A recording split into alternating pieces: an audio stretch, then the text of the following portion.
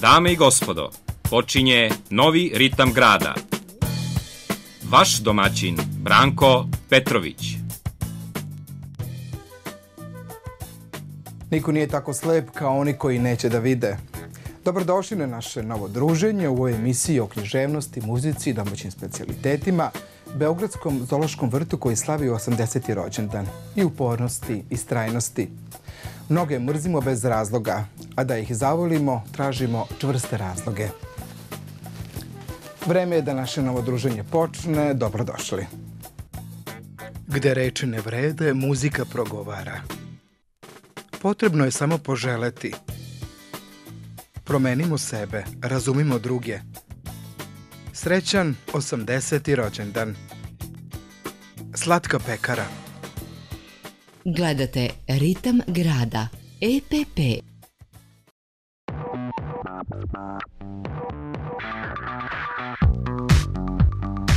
Najsavremenija diagnostika, terapija i praćanje vida i oboljenja oka. Najnovije kolekcije optičkih i sunčanih ramova. Brza i kvalitetna ugradnja i povoljne cene uz kontrolne preglede. Proširite vaše vidike. Dr. Nada Inđić, vrhunski stručnjak oftalmologije. Salon lepote Mimi, svečane i modne frizure, make-up, tatu, airbrush, solarium, lampe najnovije tehnologije, nega kose botoksom, hidratacija peelingom, korak dalje u tretiranju kose uz Olaplex, japansko iscrtavanje obrova, trajna šminka kapaka i usana, relaks masaža, salon lepote Mimi, salon lepote Mimi. Ja sam Zdenka Ikerova, bavim sa pirografijou, a sljedujuće relaciju v ritme pazove. Poštovani gledalci, muzikom krećemo naše druženje. Aleksandar Mitrović iz Sremske Mitrovice, nešto kasnije će nam se idejom pridružiti. Aleksandar, dobro mi došla. Bolje vas našla. Jesi prvi put u Staroj Pazovi, jesi imala prilike, odnosno radili ste li tako, ima dosta posla ovde na ovim terenima? Pa više radimo Mitrovica, Šid i Ruma. Dobro, sad kad vas čuju, Pa nadam se. sad će biti fazova. Malo si promukla, radilo se, Pa petak, subota, nedelja. što znači da posla ima i da je Hvala dobro. Bogu. Da. E, šta se peva? Sve se peva ili tako? Sva veselja se rade? Da. Svadbe, rođendani, krštenja, punoletstva. Razvod- Širok repertoar imamo. Razvodi se ne, ne rade. Kaže neke još Pa kolege i počeli smo razvode i to, se. samo nas još ne zovu. Ali vi ste spremni. Čekamo poziv, Ali vi ste spremni. E, nešto kasnije ćemo i čuti kako i pevate. To je neki, to je nešto što si ti odabrala da to bude. Pa Za to što danas, volim ja ovako e, privatno. Ali pevamo sve i zabavnjake i folkova i modernije, sve. Ali ovo što ja volim za svoju dušu. Jel mora da se vežba, jel mora da si uvek u, pevanju, da uvek budeš nešto aktualno, traže neku pesmu, pa Pa ti mora, moraš da budeš spremna. A šta se desi recimo kada, to me baš zanimalo uvek, kada neko poruči neku pesmu, a ti recimo ni, nisi sigurna, do duše sad ima i mobilni telefon, a sad ima svašta, Postoje snađeš se. svestice, postoje telefoni, to se na internetu nađe. Bitno znati melodiju. Da je to prisutno. iznenađenja nema. Ne. Spremna si uvijek. Aleksandra, hvala lepo što si bila moja gošća. Hvala što ste Prijatelji naše emisije te pozdravljaju. Hvala. E, dođi mi opet. Na, e, nadam se nekoj pesmi vašoj. Jel se planira tako nešto? Pa imam Ili možda spotu ili tako nešto? Imam pesmu, samo malo je loša produkcija bila. Dobro. Hoće Ali nadam se da će biti bolje. Biće u skorije vreme, Hvala lepo i sve najbolje. također.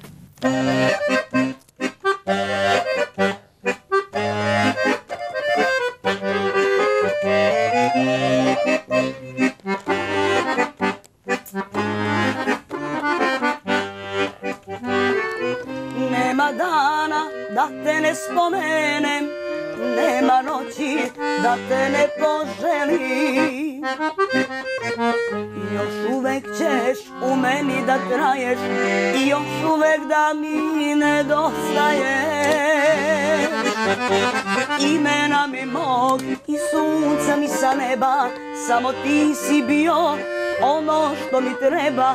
Imena mi mog i sunca mi sa neba, samo ti si bio ono što mi treba.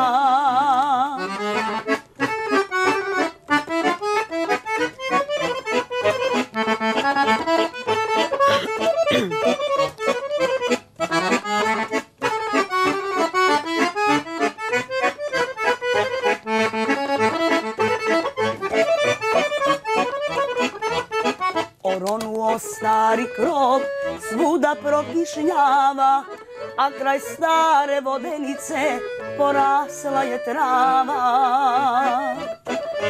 A kraj stare vodenice porasla je trava. Tu smo nekad ja i ti divne snove snimali, naše žito stalno mleli, eh što smo se tad voleli, pa da brašno bela lica naše tajne čuva vodenica. Pa da brašno bela lica naše tajne čuva vodenica. Kad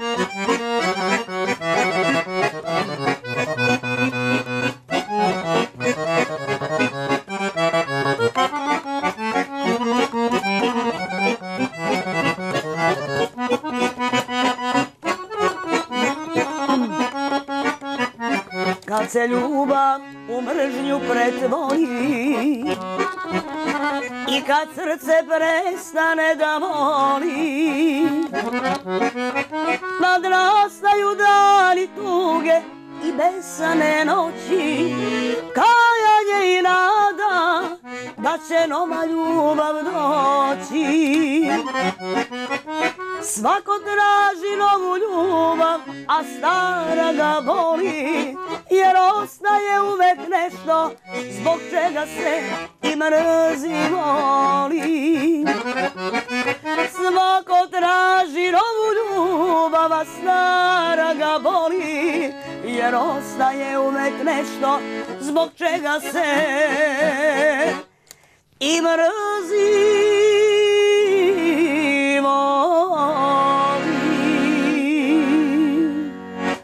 Nastavljamo dalje, poštovani gledalci. Dejan Lepotic sa nama. Dobro bi došao. Bolje vas došao. Dolaziš mi iz Rume. Koliko smo rekli? 22 godine 22 imaš? godine, da. Samo 93 talentovan si, evo lepo. Pa, Sviraš, mislim da će se to i gledalcima dopasti. E, rade se, evo da konstatujemo, kao što je rekla Aleksandra, rade se veselja. da, svadbe, punoletstva, krštenja, razne proslave radimo. Nešto malo bilo i sa tamburašima. Pa da, radio sam, radim i sada, ali ovaj, uglavnom preko leta. Kako to Bude akustika, znači? Da, akustika, harmonika, bas, kontra, eventualno bas, prim, violine. A šta se više traži? Ozvučenje ili ovako? Zavisi Pa od- trenutno više ozvučenje, jer ja više malo sviram klavijature nego harmoniku i onda više posla imam uh, Dobro, nekako ozvučenje. je zgodno to sa harmonikom, što ti više voliš harmoniku. Pa, ja sam harmoniku počeo da sviram u kulturno-umjetničkom društvu Stojan Petrović Brijela iz Stojanovaca. Pa sam onda, silom prilika, počeo sam više da radim i onda sam to malo zapostavio, ali to mi je nekako ostalo onako. Nekako Aleksandra je tu ispred vas svih i pevač, ili tako? Tako Ali tebi devojke prilazile imaju neku muzičku želju koju ti možeš da im ispuniš? Pa, prilaze devojka, ali mada češće prilaze e, pevaču i pevačici, mi smo malo iza tamo klavijature. ali- Pa to mislim, vi ste nekako Da. na drugoj liniji, Pa. oni su na, na prvoj, ali tebi da. prilaze, ili imaju neke želje. jel? Po, naručuju pesmu. Dobro, da. ostavim neki broj telefona ili nešto. Pa. Bude i toga. To ne smemo ovako javno. A da to ne smiješ javno, Da, imaš da, devojku, da, ili da, tako? Pa. Dobro, po- pozdravljamo je, ali to je sve poslovno, nema Normalno, tu da. ništa, neke privatnosti, moraš da ispuniš muzičku želju na poslu si. Tako je. E, gde se sviri, je se nešto radi uskoro, privatno, žurka neka? Pa, ništa nismo planirali sad, u skorije vrijeme imamo posla. E, Maj i jun su nam puni svaki vikend, pa onda Šta ovaj... su svadbe, šta su pitanje? Pop, svadbe, punoletstva, to je uglavnom. E, Aleksandru, nisam pitao tebe, pitam, kada je cena u pitanju, dogovarate se, sve zavisi, jo, još osim u, u bendu ili tako, ne samo da, vas ovaj, pa uglavnom radimo uh, bu, bubanj, pevač, Aleksandra, harmonikaš i ja. Znači nas pet, a može i kraća varijanta nekada dođe nas troje, na primjer, pevač, pevačica i klavijatura, onda- može i violina, To je onda- sve po želji. I manja cena. Pa to, je, da, to je sve stvar dogovora. naravno. E, čuli smo šta Aleksandra voli da peva, šta ti voliš da sviraš? Pa otprilike to što Aleksandra voli da peva. Vi ste dugo tantima, i tako dugo radite? Pa jedno 5-6 godina. Upoznali smo se sasvim slučajno u, na seoskoj slavi u Bešenovi. Kolega i ja smo otišli tamo malo u provod i Aleksandra je pevala tamo i onda smo se tamo upoznali i eto, počela Ti si saradnja. čuo i predložio joj Pa da, da. da budete tandem. Tako je. I od tada to traje. Od tada traje naša saradnja. Hvala lepo što ste bili, evo prijatelji naše emisije te pozdravljaju. Hvala. E, nadam se nekoj pesmi vašoj, zašto ne? Naravno. E, band, pa da Ako dođemo bude. da promovišemo. Da će Sve najbolje. Pozdrav.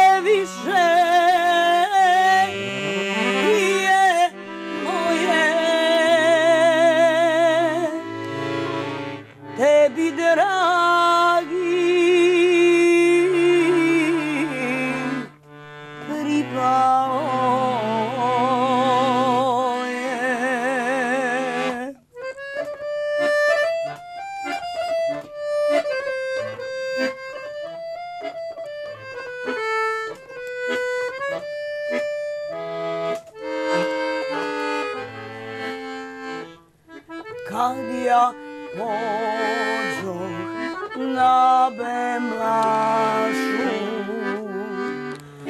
na bembašu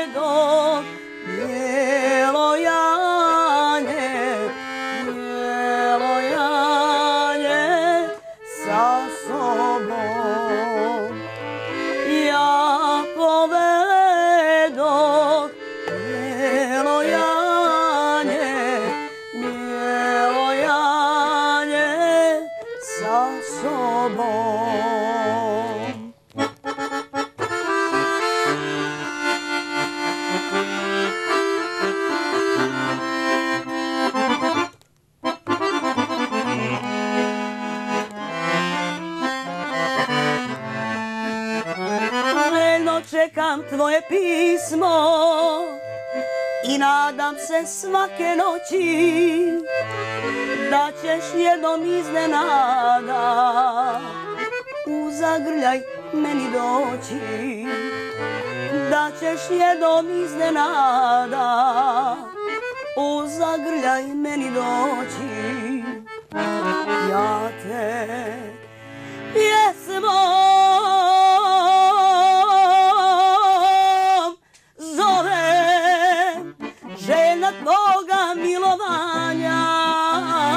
sliku tvoju ljubim ljubim, ljubim svakog dana ja te pjesmom zovem željna tvoga milovanja sliku tvoju ljubim ljubim, ljubim svakog dana ljubim, ljubim svakog dana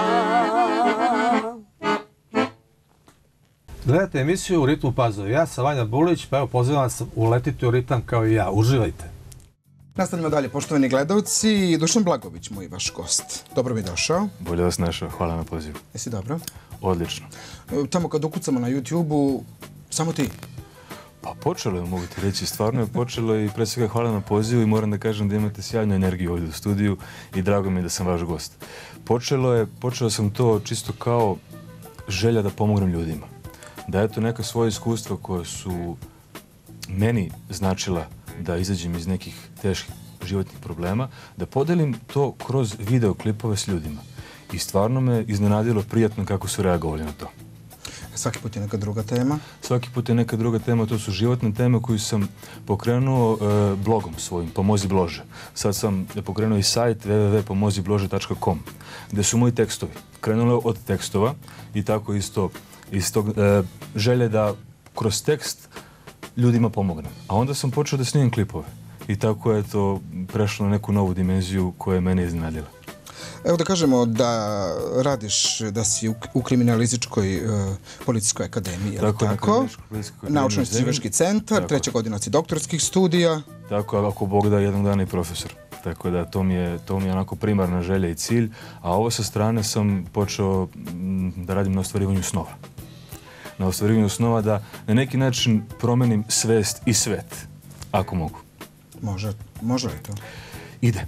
Ide sve više i više, sve više i više mladih ljudi, što je meni jako drago, me i zove i, i šalju poruke i pitaju za neke savete i ja eto iz svog nekog iskustva, ako, ako mogu da pomognem, tu sam. Evo da kažemo da se baviš i glumom amaterski, ili tako? Tako je, bio sam... E, to te čini srećnim. To me čini U stvari srećnim, tebi sve, me- tebe nema šta ne čini srećnim, tebe u stvari sve čini A srećnim. Bogu hvala, stvarno sam nekako našao tu sferu života koja me ispunjava.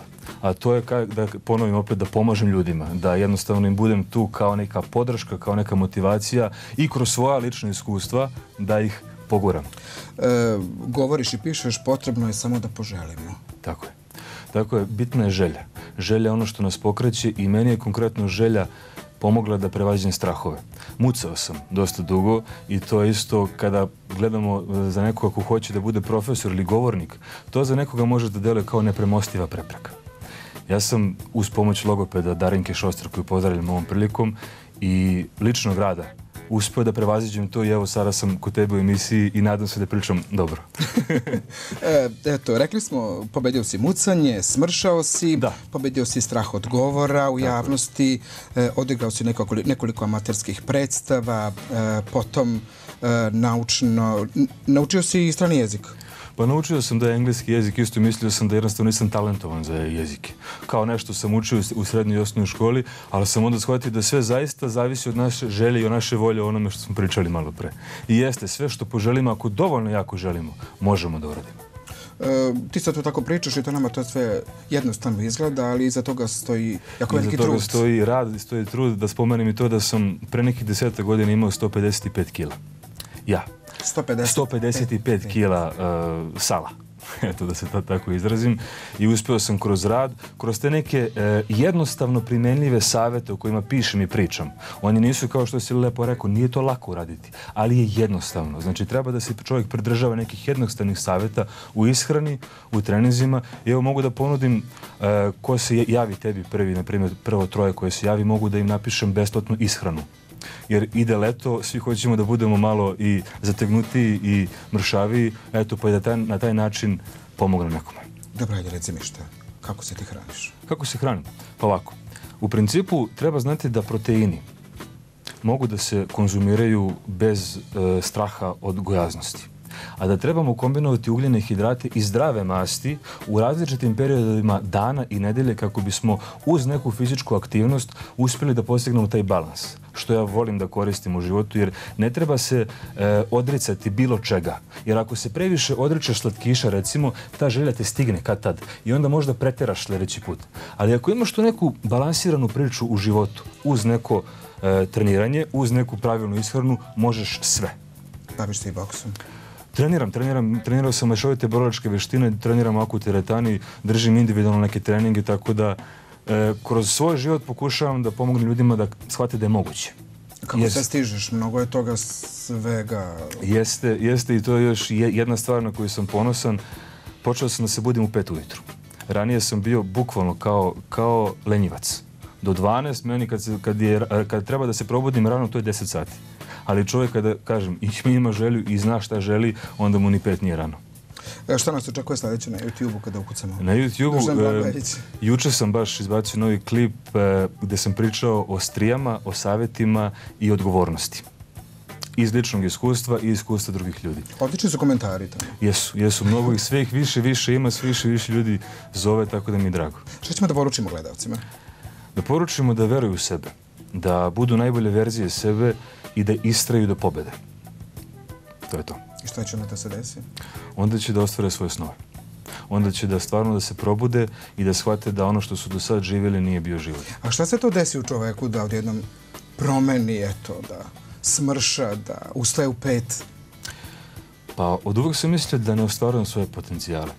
Bio sam jako gojazan, bio sam jako nesrećen i svoju odgovornost sam prebacivao na druge ljude. Konkretno na majku, na, na oca, zato što sam mislio da su oni bili ti koji su meni trebali da kažu dosta. A ne, ja sam jeo. Ali kad sam shvatio da dokle god prebacujemo svoju odgovornost na druge ljude, mi tapkamo u mestu, mi njima dajemo moć nad nama. Kako sam preuzeo odgovornost, kako sam shvatio da sam ja kriv, ne oni, jer me niko puškom nije terao da idem da jedem, jel tako? On- onda sam shvatio da je na meni.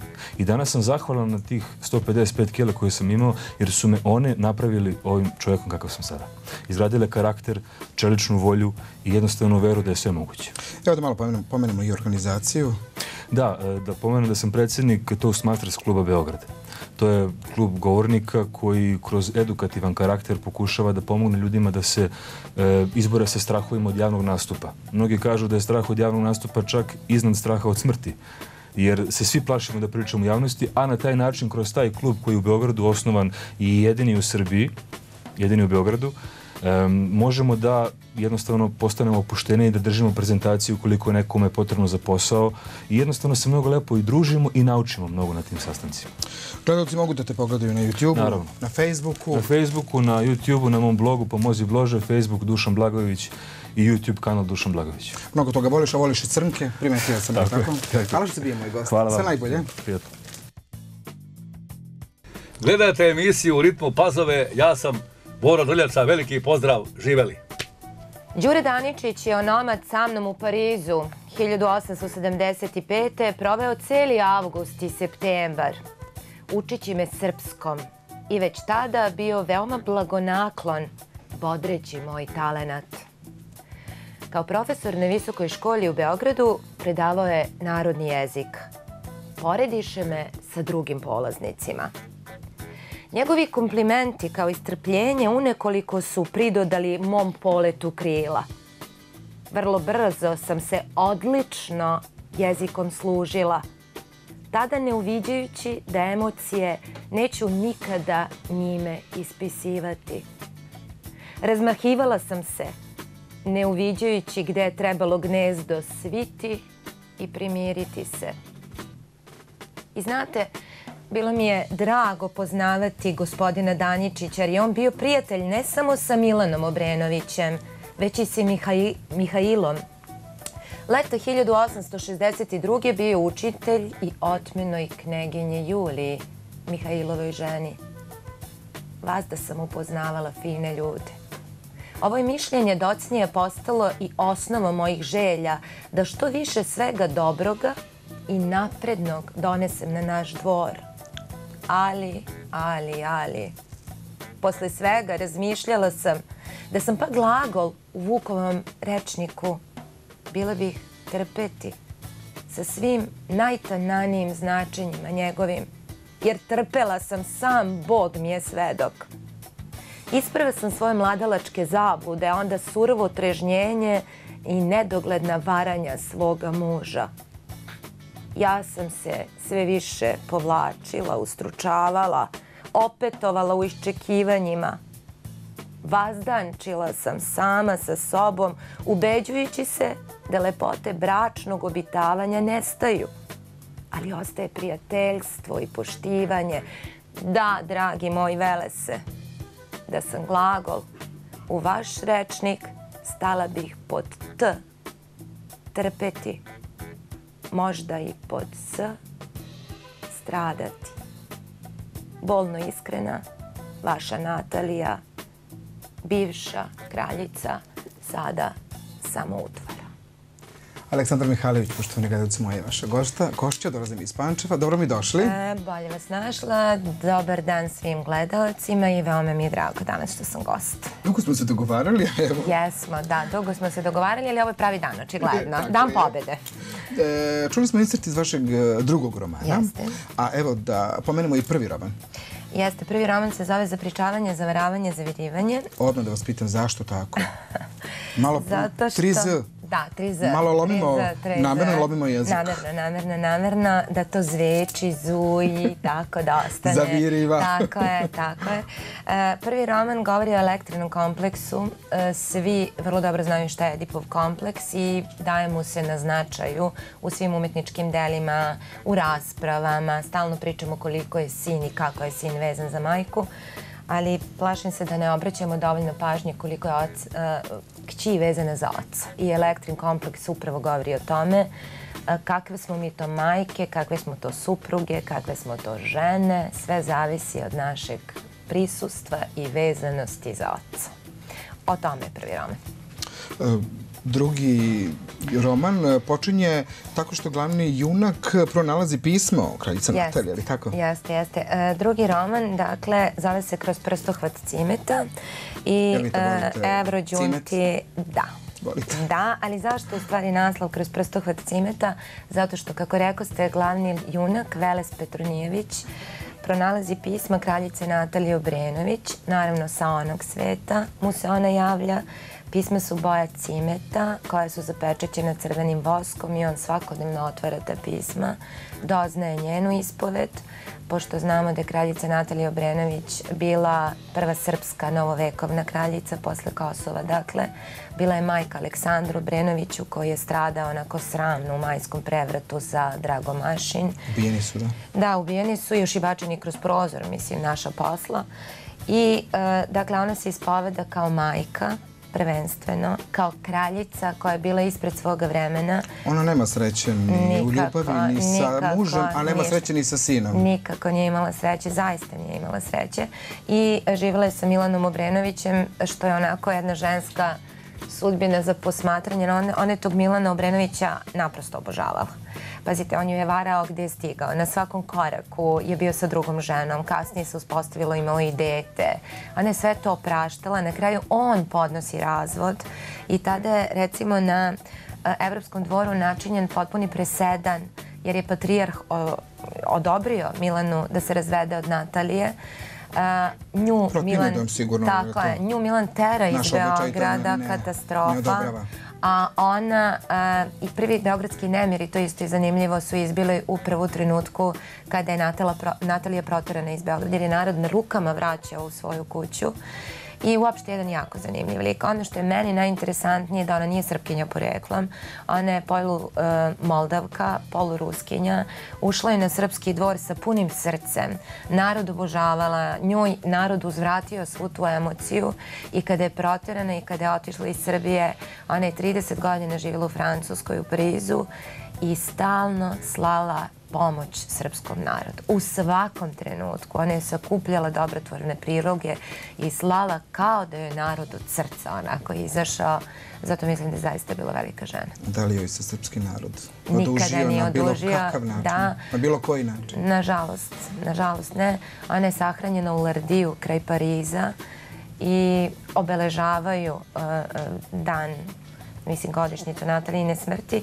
I ono što je isto zanimljivo, recimo taj cvet uh, povodom uh, praznika, ove što mi sada slavimo u Srbiji, imamo uh, Natalin cvet, uh, um, ružičasti, ljubičasti cvetić koji se zove, i o tome isto ima u ovoj knjizi, sve povodom Natalije.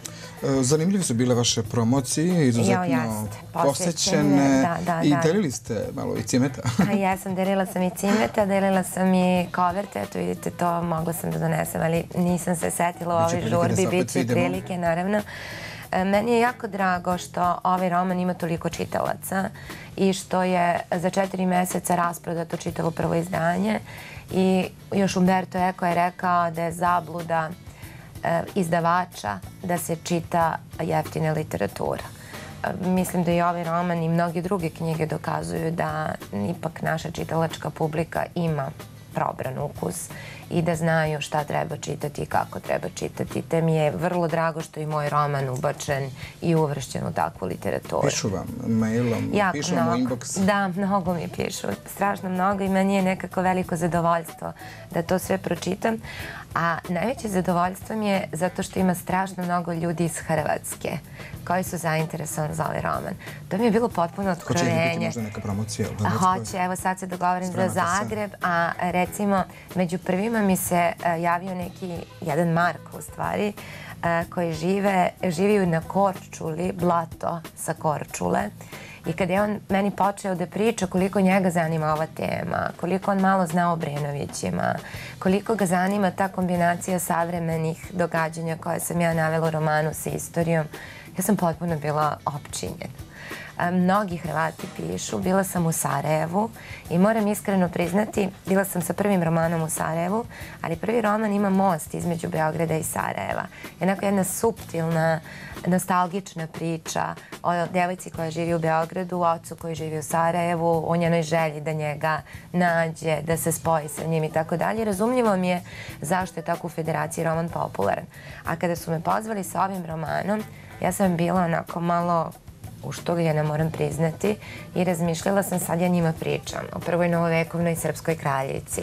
Govorim o jednom deliću srpske istorije, naravno i o savremenosti koje sam ja pominjala ovde, kako li će reagovati. Oni su bili fantastični. Ja danas dobijem pismo, recimo baš danas, od jednog Saralija, on je stvarno jedan uvaženi lekar tamo i sve, i on meni kaže, iščitao knjigu i samo vas molim da mi preporučite neku literaturu o Brenovićima.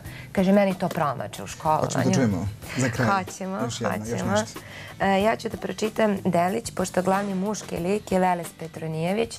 Koristila sam e, mnogo slovenske mitologije dok sam e, pisala roman i ne znam koliko znaju da je Veles vrhovni bog u slovenskih u slovenskoj mitologiji, u mitologiji starih Slovena.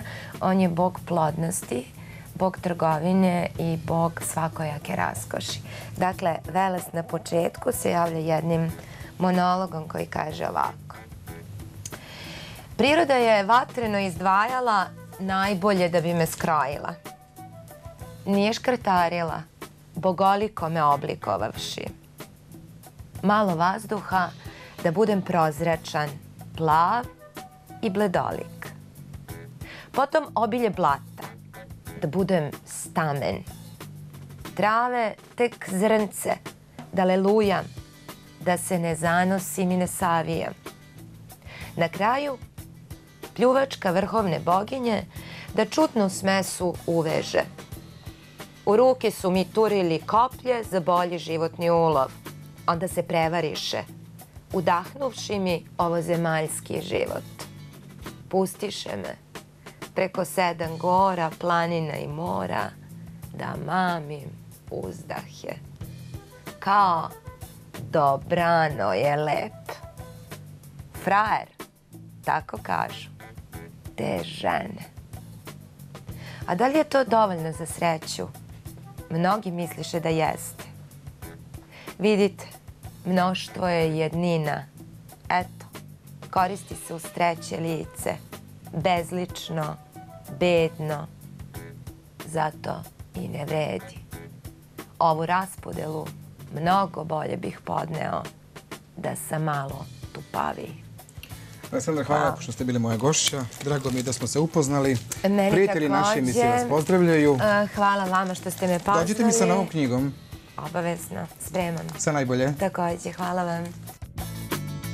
U ritmu pazove ovoga dana ja ću biti domaćin, a moj gost, dobro poznati, voditelj iste emisije Do skora, Branko Petrović. Ovaj čovek ovde je započeo karijeru zajedno s ovim čovekom ovde. I sad kad vidite njegove skromne kile, on vežba na biciklu i vozi bicikl po pazovi. Pozdravlja vas vaša Suzana Mančić, a ovo je vaša omiljena emisija u ritmu pazove. Danas je sa nama u gostima jedan veoma interesantan, mlad čovek, eh, talentovan, odličan voditelj, moj kolega Branko. Kako možeš da me prekineš? A ti si fantastičan voditelj, sad ću da ti kažem, svaka ti čast, ti si me pustio da govorim, ja moje gostove emisije ne puštam i onda mi se dogodi da mi kažu, izvinite, mogu nešto da kažem.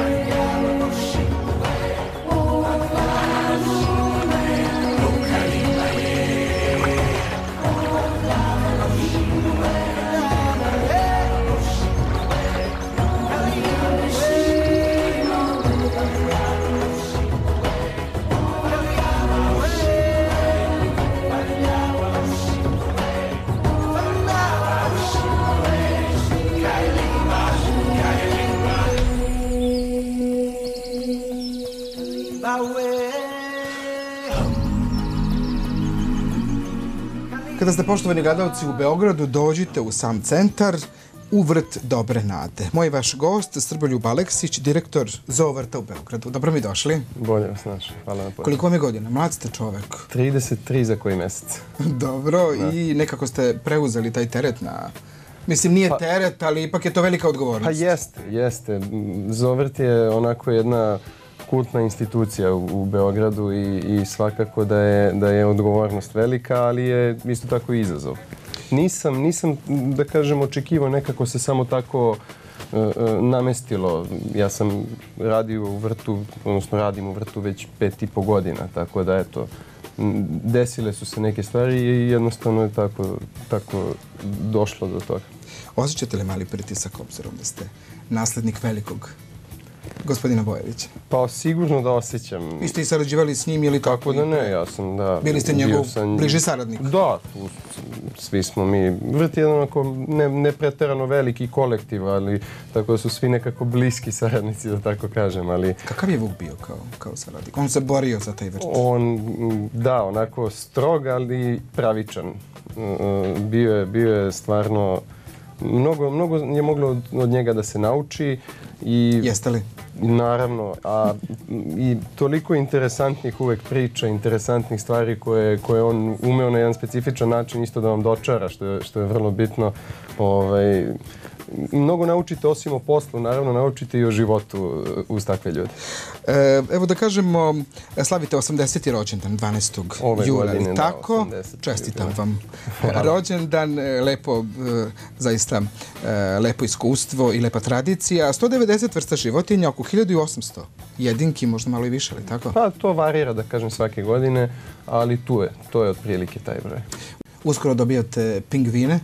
Jeste, pingvine pravimo, spremamo im Iz objekat. Mađarske dolaze, ali tako? Iz Mađarske, ovaj, možda ćemo, u nekim smo još pregovorima da još jednu porodicu dobijemo, pošto će objekat biti onako e, dosta, dosta veliki i dosta dobar po svim standardima ga pravimo kako to treba, treba da bude e, i nadamo se da ćemo do kraja godine imati pingvine. Divlje životinje pojedu nešto više ili tako od 45 tona mesa. Kako se i kako, više. kako izlazite na kraj? Pa snalazimo se. To je jedan onako uigran sistem već. To preduzeće postoji 80 godina, tako da ima, ima svoje dobavljače, svoje, svoje partnere s kojima sarađuje. Meso uzimamo iz PKB-a e, po nekoj povoljnijoj dosta, dosta ceni od, od tržišne.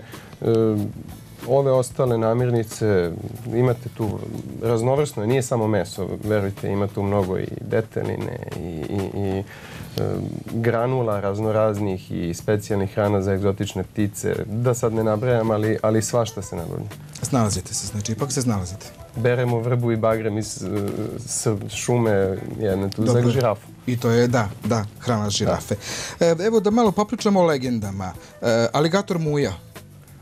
Preko- Najstariji naš stanovnik. Kažu ne samo u Srbiji, nego i u po svetu. nekim Saznanjima, podacima da. koje, koji Preko su- 80 godina da i on ima. Da, u, u zoološkim vrtovima najstariji na, na svetu američki aligator. Ovako gledajući ga on je miran, a u stvari nije baš tako. Pa prevarili bi se kad biste vidjeli kad mu daju hranu, kad mu ubace, kad ovo, vrlo je on e, agilan za, za svoje godine. tu je i sami. Ne, sami nije, sami je...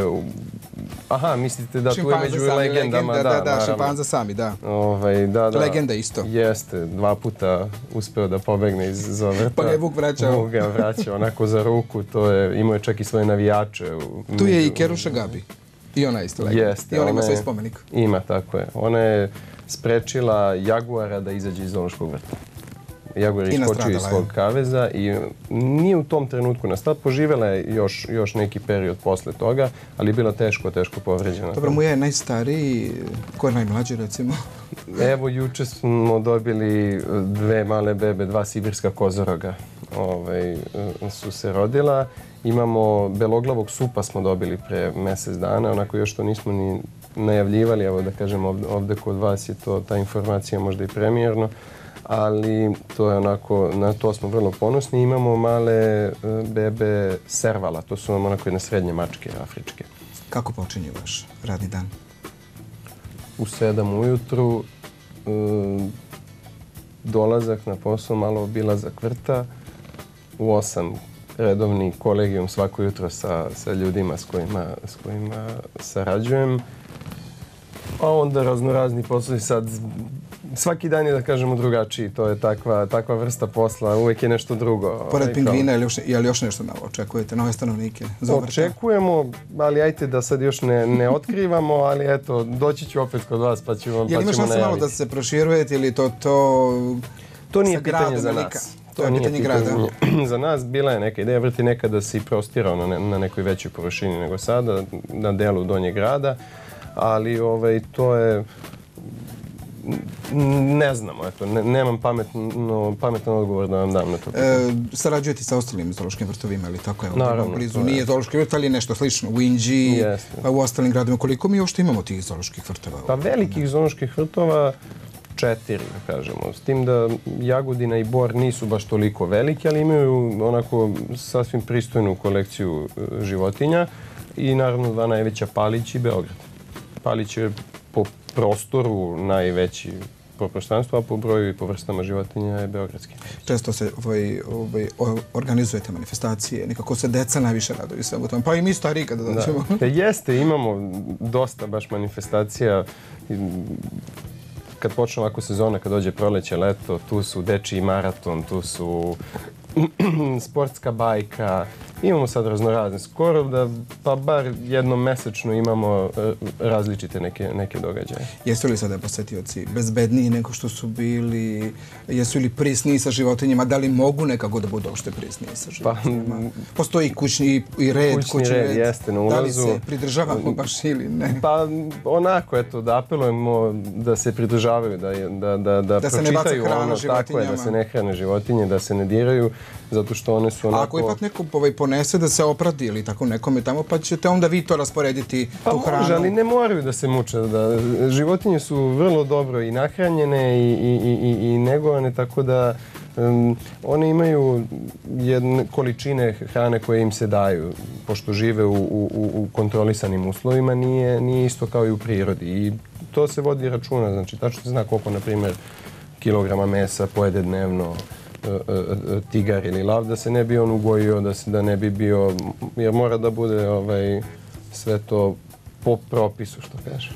E, ima i domaćih životinja, ima i zaštićenih vrsta. Ima, pa veliki broj su zaštićene vrste i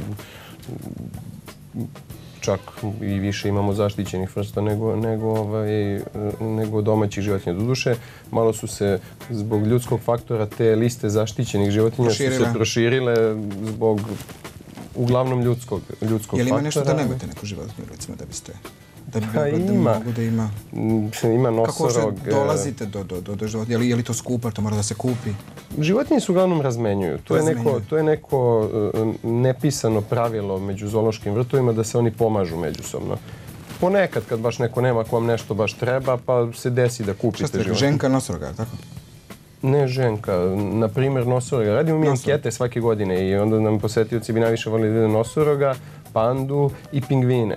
Za pingvine smo sračunali da imamo, da imamo i mogućnosti i da, i da možemo to da držimo u našem vrtu. Nosorozi za- zahtevaju malo veći prostor, to bi već bio malo problem za, za nas.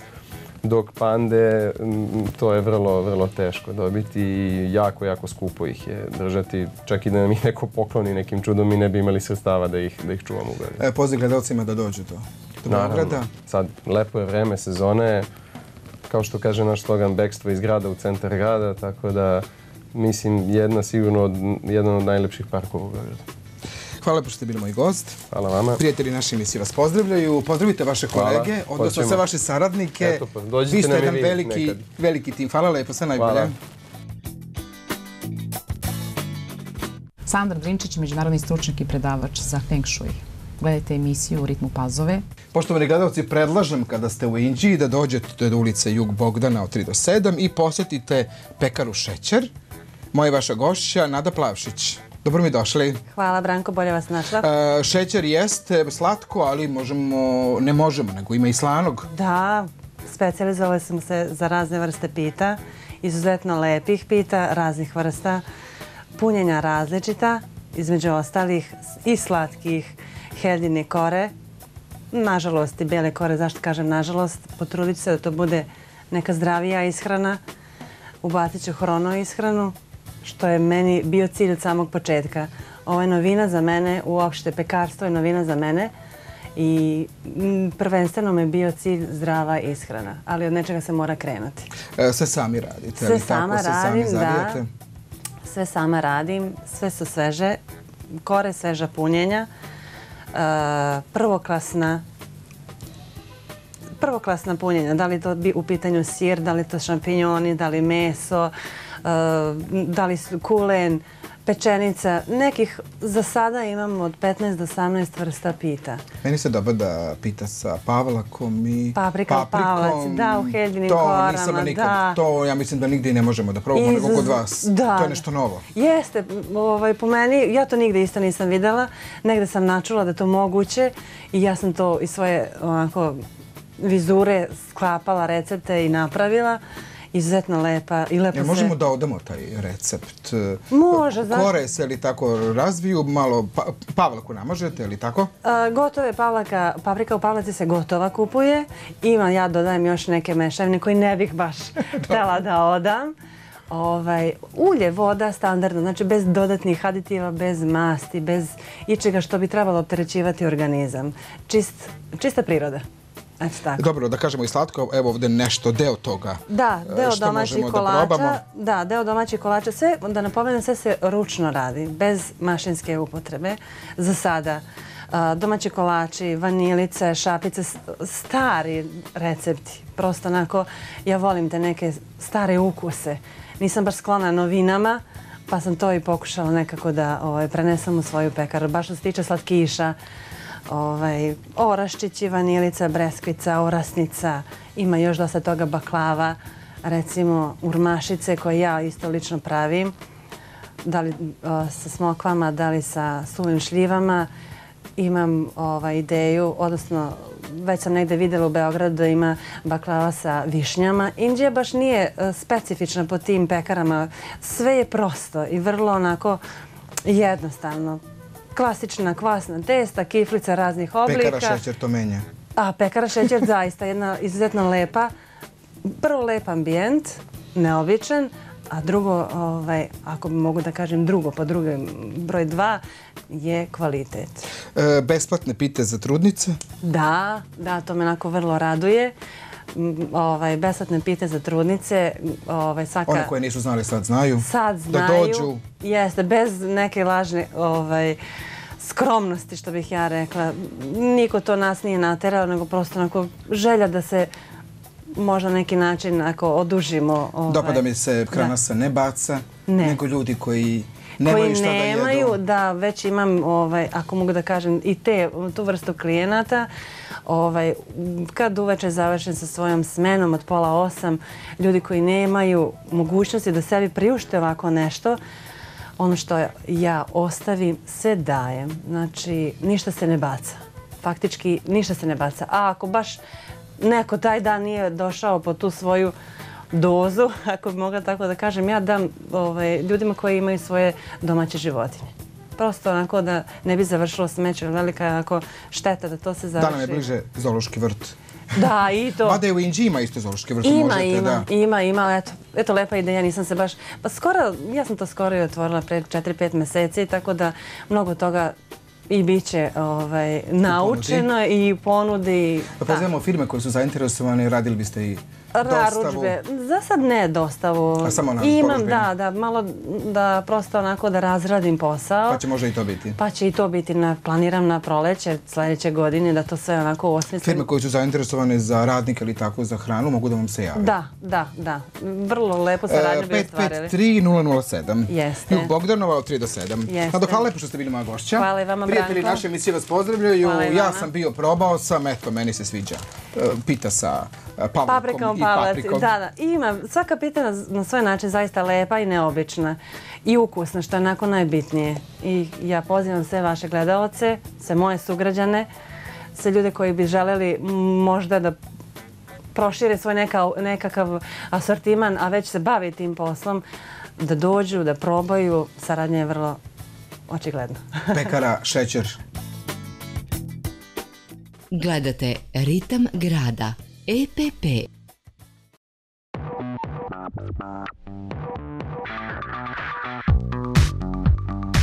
Najsavremenija dijagnostika, terapija i praćanje vida i oboljenja oka. Najnovije kolekcije optičkih i sunčanih ramova. Brza i kvalitetna ugradnja i povoljne cene. Uz kontrolne preglede. Proširite vaše vidike. Dr. Nada Indžić, vrhunski stručnjak oftalmologije. Salon lepote Mimi, svečane i modne frizure, make-up, tatu, airbrush, solarium, lampe najnovije tehnologije, nega kose botoksom, hidratacija peelingom, korak dalje u tretiranju kose uz Olaplex, japansko iscrtavanje obrova, trajna šminka kapaka i usana, relaks masaža, salon lepote Mimi, salon lepote Mimi. Gledate Ritam grada. EPP. Bolje je znati o svakoj stvari po nešto nego o jednoj sve. Hvala što ste i ove srede bili sa nama. Gledamo se 18. maja sa novim temama i gostima. Pratite nas i na društvenim mrežama i na našem YouTube kanalu. Što ne boli nije život, što ne prolazi nije sreća. Doviđenja, gledamo se za sedam dana. Bio je ovo još jedan ritam grada. Ostanite uz program radio televizije Stara Pazova.